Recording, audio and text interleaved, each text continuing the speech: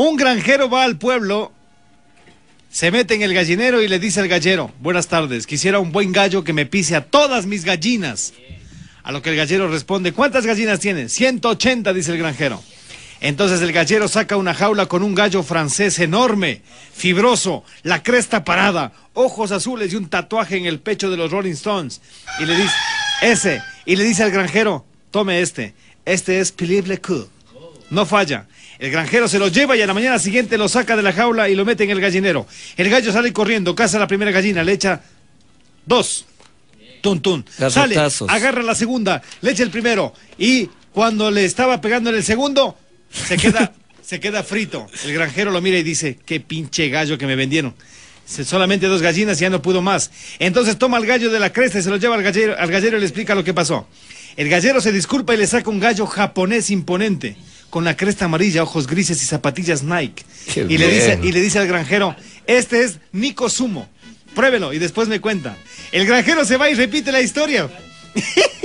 Lo suelta el gallinero. El gallo sale desesperado, se voltea a la primera gallina, agarra a la segunda, a la tercera, le hace el 69 y cuando está chance a la cuarta revienta y cae muerto a la quinta gallina. El granjero enojadísimo toma el gallo del buche y se lo lleva al gallero y le reclama. Ah. Este es el segundo gallo que me vendes y revienta. Entonces el gallero le saca un gallo ecuatoriano, sin plumas. Chopedazo, ojeroso, jorobado y con zapatillas de hule de llanta.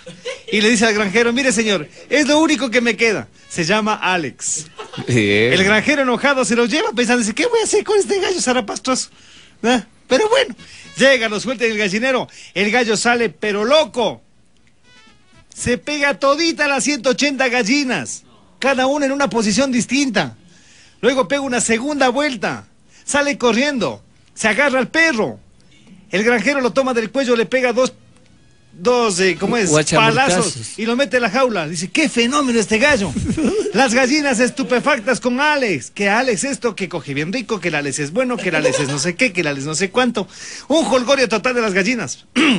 al día siguiente lo suelta de nuevo y sale el Alex otra vez enajenado, loco, le pega dos vueltas al gallinero, agarra todo lo que tiene plumas, sale corriendo y se tira al perro, al gato, dos vacas, al granjero lo persigue, lo toma de la cresta, le pega dos catorrazos para calmarlo y lo mete en la jaula.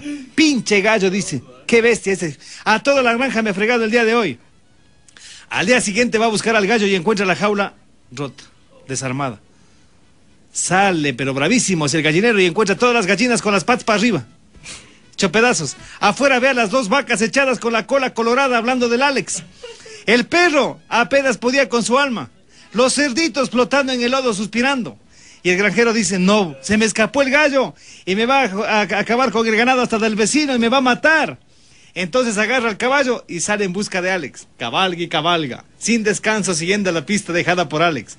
Cabras abiertas de patas, chivos matraqueados, tortuga salida del caparazón, dos ardillas rengas, un borrego todo loco, un venado curado de hemorroides, una víbora usada como preservativo, hasta, hasta que de repente a varios kilómetros ve a Alex tirado en el piso inmóvil mientras dos buitres volaban a su alrededor en círculos. Una escena desgarradora. Entonces el, granjero ve a los buitres y se da cuenta de la situación y grita, no, Alex, se me murió Alex, mi perro, mi perro, mi, mi gallo. Al fin encuentro un gallo de verdad y se me muere. En medio del lamento, Alex cuidadosamente abre un ojo, mira al granjero y señalando a los buitres le dice, shh, cállate, me espantas a las morenas.